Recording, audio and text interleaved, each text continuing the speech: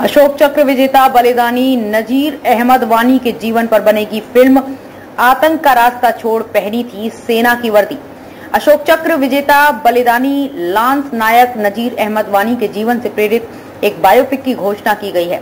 त्रिशूल media solutions द्वारा जारी एक बयान के अनुसार निर्माता, लेखक और अभिनेता हरमन बावेजा के नेतृत्व में बावेजा स्टूडियोज इखवान नामक फ़िल्म बना रहे हैं। इसमें नजीर अहमद वानी के जीवन पर आधारित बताया जा रहा है ये फ़िल्म बलिदानी नजीर के एक आतंकवादी से एक सम्मानित भारतीय सैनिक बनने तक की यात्रा को दर्शाएगी इखवान के बारे में बोलते हैं कि निर्माता बवेजा ने कहा, हम बलिदानी लांस नायक नजीर वानी की प्रेरणादायक यात्रा को सिल्वर स्क्रीन पर लाने के लिए सम्मानित और उत्साहित हैं। उग्रवाद से लेकर अंततः असाधारण वीरता के साथ देश की सेवा करने तक की उनकी यात्रा दुनिया के लिए कहानी होगी। ये फ़िल्म हमारे देश की रक्षा के लिए किए गए बलिदानों के लिए, उनके, उनकी पत्नी और भारतीय सेना के लिए एक श्रद्धांजलि है।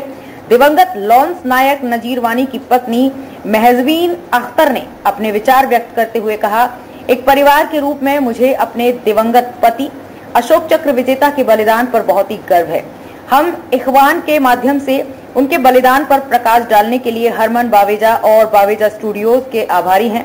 हम बेसब्री से इसके रिलीज़ होने का इंतज़ार कर रहे हैं। जनवरी 2019 में लांस नायक वानी को मरणोपरांत अशोक चक्र से सम्मानित किया गया।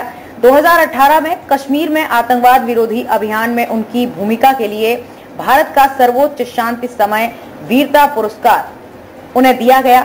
38 वर्षीय सैनिक ने शोपिया ज़िले के हीरापुर गाँव में एक आतंकवाद विरोधी अभियान में लश्कर तैयबा के जिला कमांडर और एक विदेशी आतंकवादी को ढेर कर दिया, जिसके बाद कई बार गोली लगने के बाद गंभीर घावों के कारण वो वीरगति को प्राप्त हुए।